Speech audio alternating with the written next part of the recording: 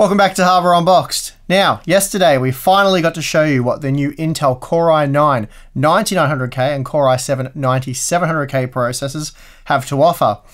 In summary, the 9900K was fast, but not really fast enough to justify the price, and that now appears to be the general consensus among reviewers. Along with the high price, the other major issue was the high temperatures. Again, most reviewers were reporting very high stock temperatures using high-end coolers, and that basically um, killed, limited, hurt the overclocking performance of these new chips. In my review, I spent quite a bit of time talking about these shockingly high uh, thermals. I expected that the 9900K was going to be a seriously power hungry CPU, and therefore it would be a rather hot item. I just didn't expect Intel's first soldered chip in a very long time to run quite as hot as it did. Using relatively low voltages at 5 GHz saw the 9900K peak at 100 degrees with the Corsair Hydro Series H100i Pro RGB or Noctua NHD15 and we're talking about some pretty premium coolers here. This was actually worse than what we saw previously with the 8700K at 5.2 GHz. Granted, the 9900K packs 33% more cores, but it's soldered whereas the 8700K uses Intel's notoriously rubbish thermal paste. In the past, I've delidded the 7700K and 8700K chips with pretty amazing results. Using liquid metal drop temperatures at least 20 degrees, though a big part of that improvement was achieved by removing the IHS glue, which reduces the gap between the CPU die and the heat spreader. Still, we know that soldering CPUs works a lot better than the paste method that Intel's been using to save on production costs for years now. We know this because Intel's desktop CPUs ran much cooler back when they were soldered in 2011, and that was the Sandy Bridge uh, days for the mainstream desktop processors, and then the high-end parts were soldered uh, right up till Broadwell E in 2016. As a quick example, the Core i7 3770K running at 4.7 GHz using 1.35 volts would peak at just over 90 degrees running an AIDA64 stress test, and that was with a large sort of tower style air cooler. Under almost the exact same conditions, but with 1.4 volts, so a bit more voltage, the 2600K ran at least 20 degrees cooler. So that being the case, I was expecting the 9900K to be something special, and not the kind of special that it turned out to be. Anyway, what I wanted to know was how much better is the soldered method used by the 9900K than the paste of the 8700K or 8086K as they are essentially the same CPU and I will be using the 8086K for my testing as I just had that CPU uh, laying around. The 8700K is busy in my GPU test rig.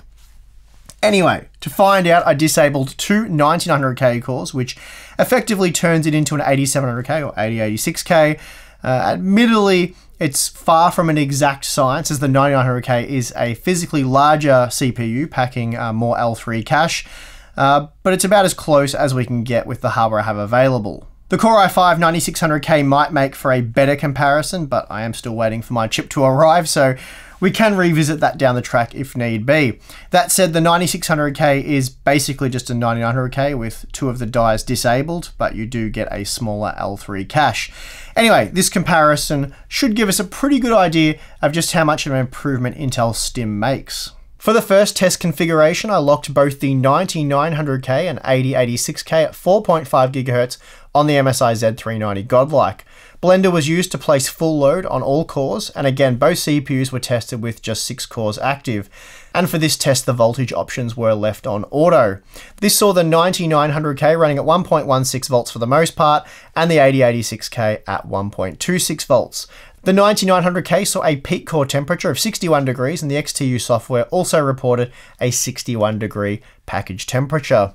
The 8086K on the other hand went as high as 74 degrees in the package with a peak core temperature of 72 degrees. So for the 4.5 GHz auto voltage comparison, the soldered method reduced temperatures by 11 degrees, a 15% reduction, though as I noted voltages are also 8% lower. The package TDP was also 16% higher on the 8086K, hitting 125 watts, opposed to just 107 watts for the 9900K. That being the case for the next test, I locked the voltage at 1.35 volts on both CPUs, leaving the operating frequency at 4.5 GHz. This evened things up and now the 8th gen processor was hitting a package TDP of 145 watts, while the 9th gen chip hit 144 watts. So basically the same figures there. That's about a 16% increase for the 8086K from the previous test and 35% increase for the 9900K. This saw the 8086 hit a peak package temperature of 88 degrees and a core temperature of 87 degrees with a typical load voltage of 1.373 volts.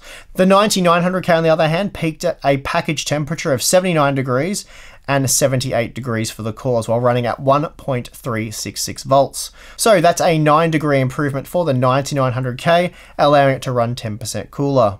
That's a decent result for the soldered CPU. That said, we are almost already at 80 degrees, so how much hotter do things get at 5.1 GHz with the same 1.35 volts? And what are the improvements over the 6-core 8th gen part?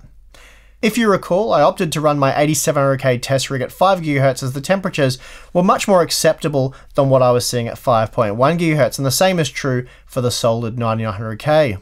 Running at an average of 1.38 volts, the 8086K hit a peak temperature of 94 degrees for both the core and package. This resulted in a package TDP of 188 watts. So pretty toasty stuff, and again, this is why we decided to run these processors at 5 GHz for our GPU test system. In comparison, the 9900K peaked at 91 degrees for the core and 90 degrees for the package. The average voltage during the test was 1.366 volts, and this resulted in a package TDP of 181 watts. So this means when overclocking, the soldered chip was just 3 degrees cooler than what we saw with the 8th gen model using paste.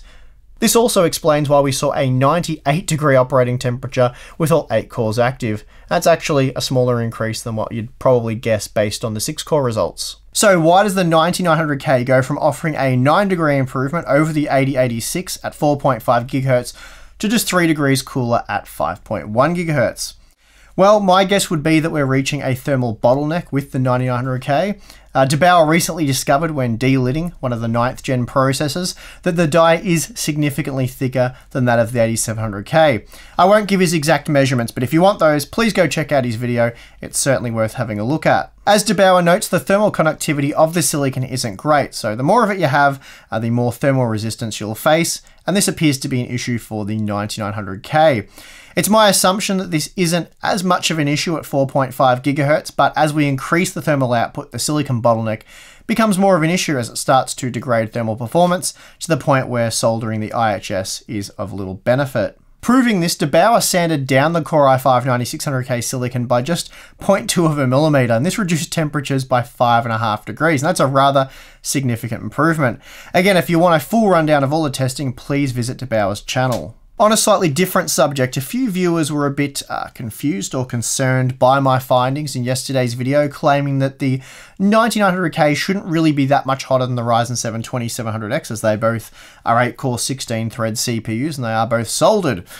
Well, the main reason why the 9900K was so much hotter was because of what we just saw in this video, clock speed. The 9900K with just 6 cores active went from 78 degrees at 4.5 GHz to just 91 degrees at 5.1 GHz, and that's a 17% increase in operating temperature. The 2700X can be overclocked to around 4.2 GHz, but by default runs at an all-core clock frequency of 3.8 GHz with the Wraith Prism box cooler, about 3.9 GHz with an aftermarket closed-loop cooler, for example.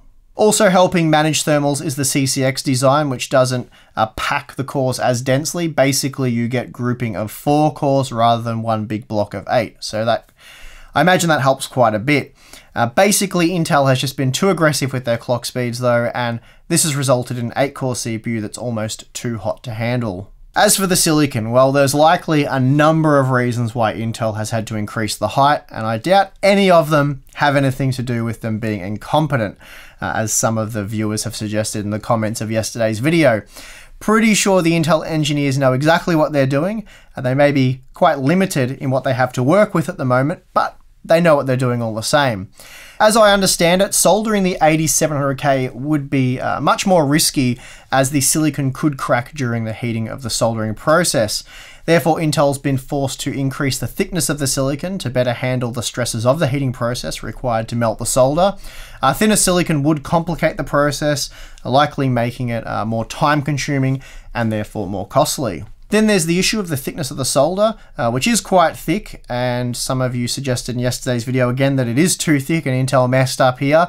And well, that could be possible, maybe it is too thick, uh, but I suspect Intel faced a few issues here as well, one being damage. A thinner solder I would be more prone to cracking, that seems quite obvious, uh, particularly uh, after prolonged use. These chips heat up quite fast, and then depending on the cooler used, they can uh, cool down quite rapidly, and this places a lot of stress on the solder layer. Now you can delid the 9900Ks. Intel uh, didn't want to go with a super hard solder, again to try and avoid cracking.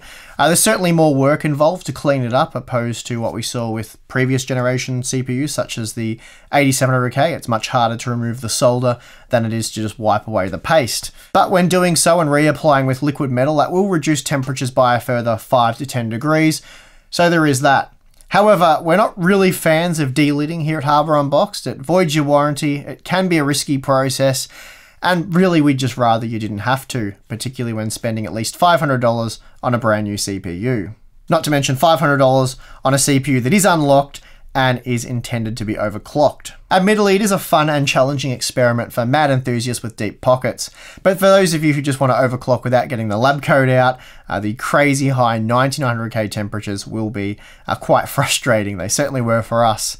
At the end of the day, it seems like Intel is really just pushing everything to the, uh, the limits, and therefore they were forced to solder these chips in order to maximize the thermal conductivity. Overall, though, it's still a better method as we are seeing improved thermal performance, especially out of the box thermals. Unfortunately, though, we are only talking about three to four, maybe five degrees when overclocking. And that is going to do it for this one. If you did enjoy the video, be sure to hit the like button, subscribe for more content, and if you appreciate the work we do at HardwareUnboxed, then consider supporting us on Patreon. Thanks for watching. I'm your host, Steve. See you again next time.